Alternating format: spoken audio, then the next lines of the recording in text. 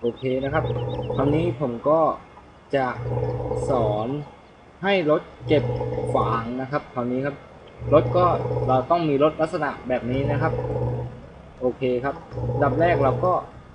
เหมือนเดิมครับ ขับรถเกี่ยวข้าวนำไปก่อนให้มันเกี่ยวไปเองอัตโนมัตินะครับมันเกี่ยวไปเอง แล้วเราก็มาขับคันที่สองนะครับ ขับ แล้วเราต้องปลดล็อกทุกอย่างนะครับ ปลดล็อก ด้านหลัง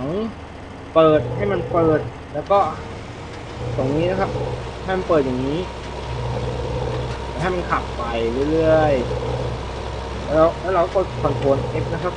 เพื่อให้รถมันวิ่งกันของมันเองไปเรื่อยแล้วเราก็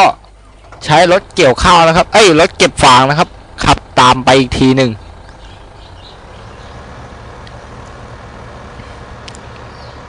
แบบนี้นะครับ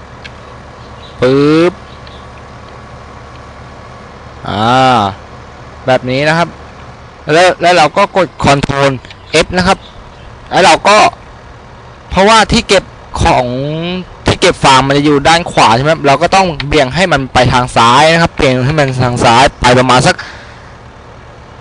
สามประมาณนี้ครับสามจุดศูนย์สี่จุดศูนย์ก็ได้นะครับ แล้วมันจะดันกันทำไมเนี่ย ก็ยกเลิกไปก่อนนะครับ เพราะว่ารถเกี่ยวมันเต็มนะครับ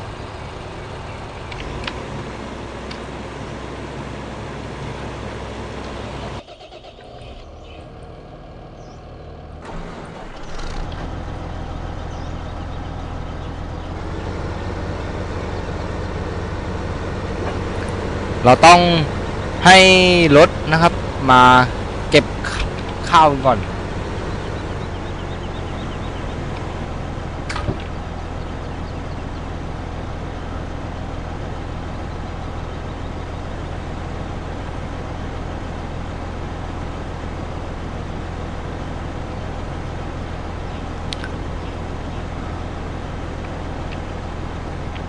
อ่าโอเค เอาแค่ทดทดสอบก่อนครับเก็บข้าวไว้ก่อนปุ๊บ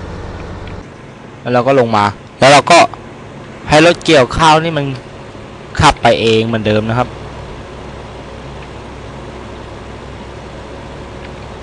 ยกเลิกตัวเฮดก่อนนะครับ ยกเลิกแล้วก็ให้มันเกี่ยร์ไปใหม่ โอเค แล้วมันก็จะขับตามไปงี้เรื่อยๆนะครับ มันก็จะขับตามไปปึ๊บประมาณนี้แล้วเราก็กด Ctrl F นะครับขับตามลำดับไปเรื่อยๆเรื่อยๆเรื่อยๆนะครับอ่าแล้วมันก็จะมีแล้วมันก็จะเป็นลักษณะแบบนี้นะครับแล้วเดี๋ยวพอก้อนฟางมันเต็มแล้วหนึ่งก้อนปุ๊บมันก็จะเก็บขึ้นมาเองอัตโนมัตินะครับ เบี่ยงไปซ้ายไปขวากด Ctrl A กับ D นะครับ เบี่ยงให้มันเลี้ยวอยู่ทางซ้ายอยู่ทางขวานะครับก็แล้วแต่ที่เก็บมันจะอยู่ทางด้านไหนหรือว่าที่เทมจะอยู่ทางด้านไหนนะครับ แบบนี้นะครับปุ๊บมันก็จะเก็บปุ๊บอัตโนมัติอ่าเห็นไหม